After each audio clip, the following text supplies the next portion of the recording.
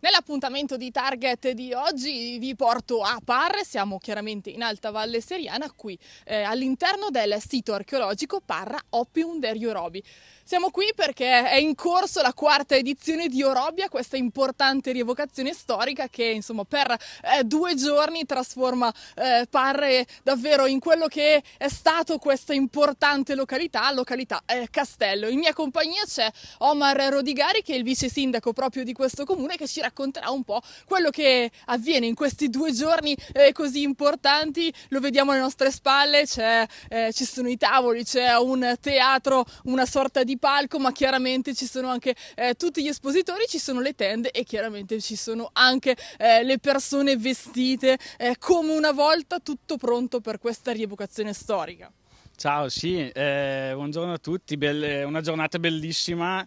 baciati dal sole, quindi più bello di così non si può. Eh, Orobia è partita, la quarta edizione è ufficialmente cominciata un'edizione che ha come titolo eh, Fuochi per gli dei, oracoli per gli uomini, è un'edizione che è caratterizzata dalla sacralità antica, quindi la grande novità di quest'anno è che questa sera alle 21 eh, verrà acceso un rogo votivo e ci sarà una rievocazione nella rievocazione. Quindi verrà rievocato quello che era un rito sacro eh, che si svolgeva su tutto l'arco alpino, quindi non solo a Parre, però su tutto l'arco alpino veniva, mm, questo in particolare è un rito retico e quindi verrà anche celebrato in eh, lingua retica, in lingua originale, dai rievocatori che sono qui presenti oggi, che rappresentano più popolazioni pre-romane, quindi dall'Italia settentrionale prima dell'avvento di Roma. Infatti i gruppi di rievocazione che ci sono sono provenienti, sono quasi 60 rievocatori, sono provenienti da tutto il nord Italia e ognuno, ogni gruppo eh, impersonifica un, un'antica popolazione italica. E ci sono tantissime novità, tantissime attività sia per gli adulti sia per, eh, per i bambini, bambini che hanno un ruolo privilegiato perché è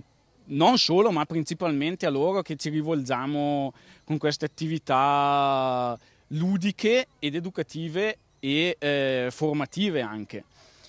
E infatti ci sarà anche una caccia al tesoro incentrata su questi temi ci saranno laboratori, dimostrazioni in tutti gli stand che caratterizzano il campo storico.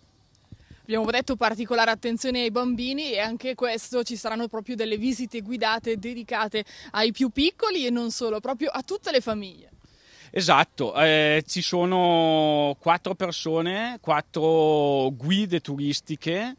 eh, del Parco Archeologico Parra Oppidum degli Orobi presenti qui che eh, spiegheranno, faranno delle visite guidate per, anche per piccolissimi gruppi lungo tutta la giornata e tutta la serata, quindi sia di sabato sia di domenica e le attività sono davvero infinite, non sto neanche davvero a elencarle tutte, anche perché cioè, dopo ci sarà anche l'occasione di approfondire con eh, i gruppi di rievocazione e davvero ci sarà da mangiare, da bere, le pietanze sono quelle che grazie agli scavi archeologici e ai ritrovamenti noi sappiamo che la popolazione di Parre e del nord Italia in generale consumavano 3000 anni fa e quindi la, la fa da padrone la carne alla brace ovviamente, ma anche le lunghe cotture, le zuppe, gli stufati. È una polenta particolare. È una polenta particolare perché ovviamente la polenta di mais che, che tutti i giorni noi oggi mangiamo all'epoca non c'era, il mais non era ancora arrivato dall'America e quindi si faceva la polenta sostanzialmente con il cereale che veniva coltivato, poteva essere miglio, poteva essere farro, poteva essere avena. Quest'anno riproporremo una, una pulse, come la chiamavano i romani, una polenta eh, di miglio, quindi molto diversa dall'attuale, per comunque lasciare un legame con anche il presente, l'abbineremo comunque con una piccola polenta di mais ai quattro mais quasi tutte le pietanze eh, sono eh, o chilometro zero o comunque chilometro, se si può dire uno. Rimaniamo almeno in, in, Valle Seriana. Si rimane qua, anche la selvaggina è selvaggina che comunque è cacciata dai cacciatori in Alta Valle Seriana e macellata da una macelleria della zona. E la carne d'agnello è di Parre, i formaggi sono di Parre o comunque dei dintorni, quindi anche un'attenzione al, al mangiare locale e sano. Assolutamente. Eh, questa eh, rievocazione storica che come abbiamo detto in apertura è giunta alla quarta edizione va un po' a valorizzare anche quella che è questa località Castello appunto dove sono stati ritrovati eh, e sono, ci sono proprio i ritrovamenti eh, storici ma anche tutta eh, l'area del museo che si trova proprio eh, qui vicino in piazza San Rocco. Sì, l'obiettivo principale di questo evento da sempre, da quando è stato ideato da me e dalla, dall'allora conservatrice Annalisa Bonassi è sempre stato quello di valorizzare questo parco archeologico e l'antiquarium annesso, perché nell'antiquarium che è in piazza San Rocco sono esposti i reperti che sono stati trovati nel parco archeologico. Può sembrare una cosa logica, ma così banale non lo è perché non sempre c'è un parco archeologico con un antiquario affiancato ed è uno dei motivi per cui anche la soprintendenza di Bergamo e Brescia tiene tantissimo questo sito e noi cerchiamo di eh, lavorare per valorizzarlo al meglio. Tra l'altro quest'anno abbiamo, anche, abbiamo ottenuto un contributo dal, dal Ministero della Cultura è un fondo apposito che va a finanziare le migliori rievocazioni storiche d'Italia e con un pizzico d'orgoglio mi sento di dire che ce l'abbiamo fatta anche noi a ottenerlo. Era qualche anno che ci provavamo, quest'anno è arrivato, quindi cerchiamo sempre di fare le cose meglio dell'anno precedente sperando di farcela.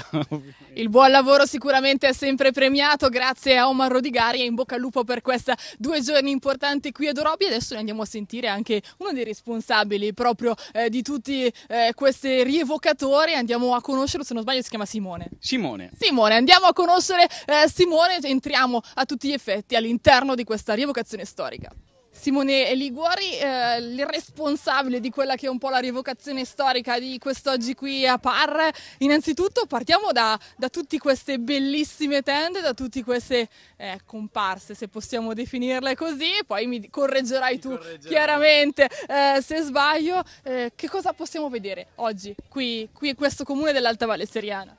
Allora, anche quest'anno sono accorsi numerosi ricostruttori storici, noi ci occupiamo di rievocazione storica ma anche di ricostruzione storica. Siamo diverse associazioni provenienti dalla Lombardia, dal Veneto, dall'Emilia Romagna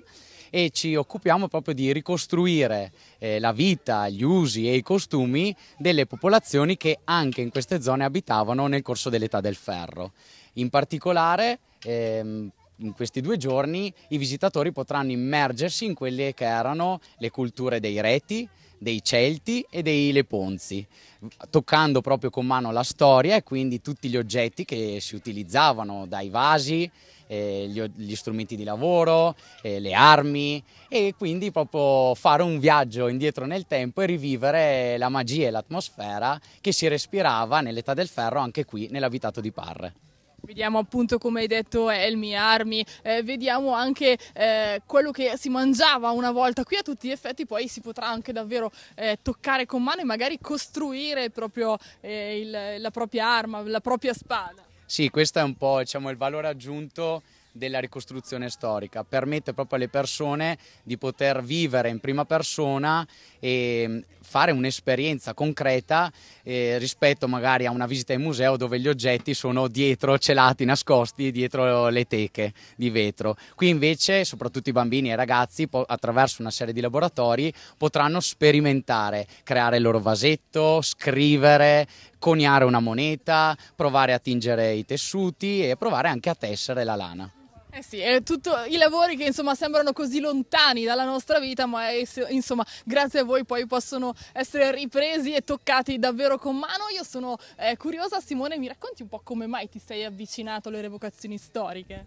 Allora io sono un archeologo, quindi un po' diciamo che il, dal lavoro la parte di passione un po' più ludica, più divertente mi ha portato a entrare nel mondo della revocazione storica perché eh, consente di far conoscere l'archeologia, la storia alle persone in modo magari più divertente, più dinamico e meno scientifico e noioso dove magari eh, spesso si pensa che l'archeologia sia una scienza così lontana dalle persone. Ecco proprio la revocazione storica storica fa sì che le persone possano conoscere divertendosi. E la cosa bella è che eh, tra di voi insomma, siete eh, tutti giovani, insomma la storia piace ai giovani la storia piace ai giovani, poi eh, il bello è anche il cambio delle generazioni perché siamo partiti anche noi a fare l'evocazione che avevamo magari 20 anni, 18, chi anche meno, adesso abbiamo delle vere e proprie famiglie, quindi anche i bambini, i nostri figli e amici più piccoli che eh, ovviamente si divertono perché anche noi è un po' come tornare bambini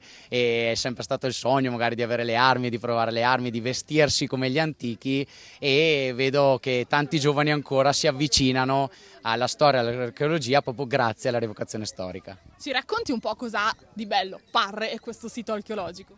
Innanzitutto sicuramente il posto, si respira un'atmosfera veramente magica, si respira la storia eh, ma anche si vede proprio l'entusiasmo e la passione che ci mettono tutti gli, gli, organizzatori del posto, dal comune, la Proloco, gli operatori del museo, hanno proprio voglia di far vivere ancora questo, questo posto e farlo conoscere anche a tutte le persone che magari non abitano qui vicino, ma che grazie anche a questi eventi possono venire a scoprire non solo Parre, ma anche la Val Seriana e tutto il territorio circostante. Quarta rievocazione storica di Orobia e per lei che è insomma la conservatore di questo eh, sito archeologico ben venga questo tipo di manifestazioni che vanno a valorizzare a tutti gli effetti questo sito molto importante che magari visto dall'esterno può essere anche molto lontano dalla realtà attuale. Eh, sito, buongiorno a tutti, il sito di Parre è effettivamente un sito molto difficile, ah, molto difficile per chi non è addetto ai lavori è stato fatto un grosso lavoro in questi anni per renderlo più eh, comprensibile per tutti i visitatori e altri lavori sono in progetto ma non svelo nulla perché se no poi dopo non c'è più la sorpresa. E eh, con rifacimento dei pannelli, l'esposizione all'antiquarium è stata arricchita ma soprattutto grazie all'amministrazione comunale si è sentita questa forte necessità di coinvolgere sia i cittadini di Parre che i turisti e il territorio in Orobia, che è una revocazione storica che ogni anno affronta tematiche differenti. L'anno scorso, ad esempio, fatto, era stata dedicata ai contatti fra le diverse popolazioni dell'età del ferro, quest'anno invece è, è dedicata ai roghi votivi e eh, oggi pomeriggio infatti ci sarà una conferenza della dottoressa Solano della soprintendenza ABAP eh, di Bergamo Brescia che ci illustrerà i roghi votivi in area alpina. Eh, tutti gli stand servono per far capire ai visitatori come si viveva e quali erano le attività che erano svolte all'interno dei villaggi degli abitati e ovviamente nel corso dell'età del ferro e eh, i rievocatori che ci sono, ci sono tanti stand, eh, sviluppano diversi argomenti, la lavorazione della ceramica, l'alimentazione, la tessitura, la forgiatura dei metalli, infatti oggi pomeriggio c'è anche un evento dedicato alla fusione dei metalli, tutto questo perché le persone possano comprendere meglio questo sito che, ripeto, è particolarmente difficile per chi non conosce l'argomento. Qual è la particolarità eh, di questo sito? Ce n'è una su tutte che insomma Parre è diverso rispetto agli altri perché? Eh, Parre è diverso rispetto agli altri secondo me perché dimostra come già nel corso del V e sesto, nel VI e V secolo a.C. i contatti fra le diverse popolazioni fossero attivi e iperattivi più che attivi, quindi con le popolazioni del Trentino, i reti, con le popolazioni a nord delle Alpi, con gli Etruschi e col mondo celtico-golassecchiano in generale. Quindi era proprio un punto di incontro per tutte queste popolazioni, vista anche la sua posizione strategica, oltre che con un panorama bellissimo, ma anche per l'estrazione dei metalli. Quindi credo che la, la, caratteristica sia questa, cioè proprio il fatto che fosse un punto di incontro per popolazioni differenti. Prima con Omar Rodigari abbiamo parlato di questo sito archeologico e soprattutto anche eh, del museo che si trova proprio a pochi metri eh, di distanza da, dai ritrovamenti stessi, anche questo è un valore aggiunto di questo comune. Sì, eh, effettivamente il fatto di poter vedere esposti e contestualizzati con tanti pannelli, tante spiegazioni, i ritrovamenti che sono stati fatti a Parre serve ancora di più per comprendere e capire anche lo sviluppo cronologico dell'abitato fin dalle sue origini nell'età del bronzo, eh, quindi parliamo di 3.000 passani prima di Cristo, fino al definitivo abbandono nella tarda età romana, attraverso tutta una serie di passaggi eh, che eh, si possono essere visti anche qui nell'area archeologica ma che meglio si capiscono andando a vedere i materiali che sono emersi nel corso degli scavi e, e eh, che sono presentati anche in modo semplici e eh, con delle schede adatte anche per i visitatori singoli con bambini, perché noi abbiamo fatto insieme alla rete PAD di cui facciamo parte, eh, delle schede per le famiglie che vengono da sole in visita al, al parco e all'antiquarium per i bambini, con i bambini.